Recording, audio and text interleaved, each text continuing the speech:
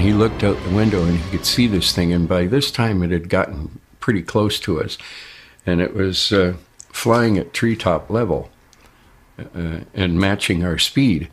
And when my dad saw it, he went into instant panic mode. And uh, I said, What is it? And he said, Shut up, leave me alone. And he was, you know, I could see he was visibly uh, frightened.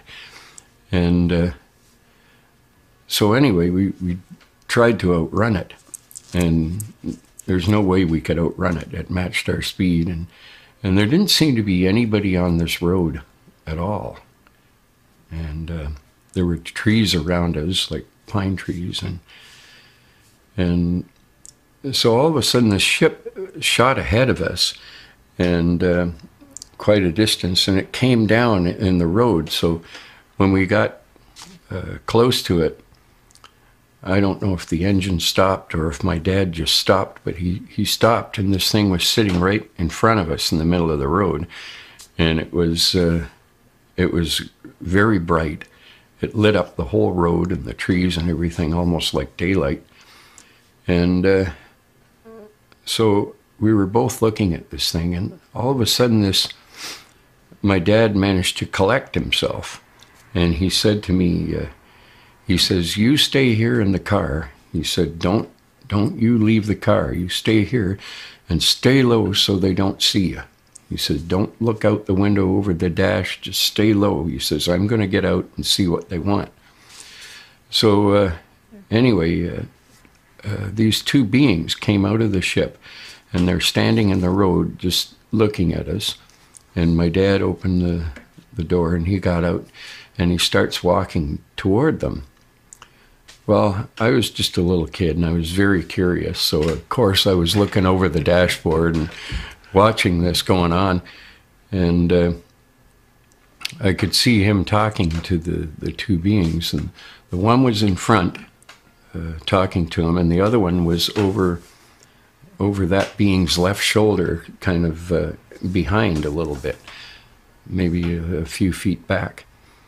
And so I I wanted to see who these people were because they looked different from us, and I was uh, interested and and so I I climbed over to the driver's seat and I got out, and I knew that I was probably going to be in trouble for it, but uh, little kids can get away with a lot of stuff, you know.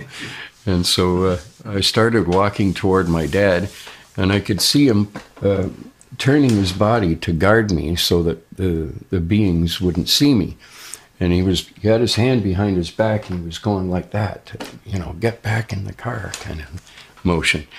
And uh, so I came up behind him and uh, he was still trying to guard me so the being couldn't see me. And the being just suddenly went like that and looked over his shoulder at me.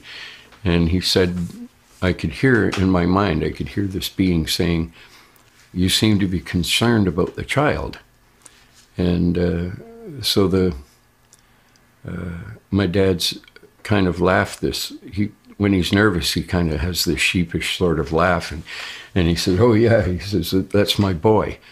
And then he turned to me and he said, "I told you to stay in the car. Now go and get back in the car." And I said, "But I want to see." And he says, "Go and get back in the car." So then the the being that was talking to my dad said, "Would you like my crew member to take him back for you?" And my dad said, "No, that's okay. Uh, we have to go anyway." And so the, the being turned and looked at his crew member, and the crew member immediately came over and took me by the hand and started walking me back to the car. So my dad was uh, looking at, at us, watching him take me back to the car, and I could see he was nervous about it, wondering like what's what's going to happen here. And so, uh, anyway, uh, I got in, and the being got in beside me and sat in the driver's seat. And uh, so he, he shut the door and he was sitting there looking at me. And he started asking me questions. He said, uh, uh, How does this vehicle work? And uh, I said, Well, you push the one pedal on the floor there to make it go, and you push the other one to make it stop. And he said, Oh, I see. And so he's kind of holding the steering wheel, and he goes, What does this do? And I said, Well, that's how you move the vehicle. Uh, you either go that way or that way with it, and depending on how you turn it. And he said, Oh, okay. And then he pointed to the radio on the dashboard. And I just happened to glance up and I noticed that my dad and the other being were no longer there. So I assumed that he'd taken him inside. And he pointed to the radio, this being, and he says, What does this do? And I said, Well, that's a radio. And I said, You you hear music on it and you hear people talking. And he says, Oh.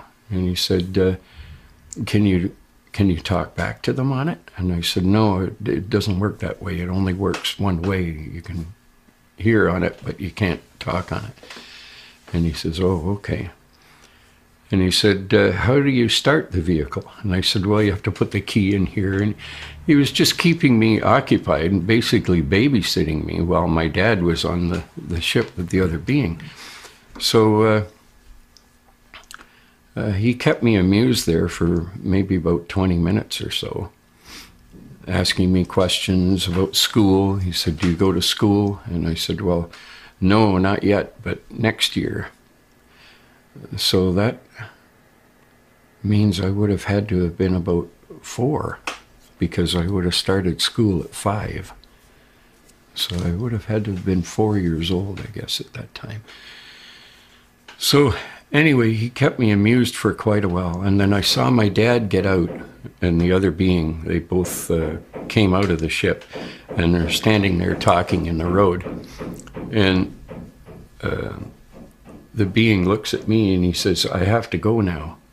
And I said, uh, I said, really? I said, can't you stay a little bit longer? Because I was enjoying his company. He was taking an interest in me. And, and, uh, he said, Well, maybe for a minute or so. And then he was watching the other being that was with my dad. And then the other being just kind of nodded at him like that. And he said, Now I do have to go. And uh, I tried to talk him into staying. And he said, No, I'm sorry. I do have to go now. So he got out and he's walking toward the other being past my dad in the road coming back to the vehicle. And so my dad got in and um, he was kind of quiet. And we watched the two beings get back in the in the saucer-shaped craft. It was saucer-shaped, and uh, it lifted off the road, and we watched it lift up, and we watched it take off. And so then my dad started the car, and we started driving home. Then I noticed something kind of unusual is that this uh, ship appeared to be coming back. And it came back and did the same thing. It uh, came down in the road in front of us and made us stop again.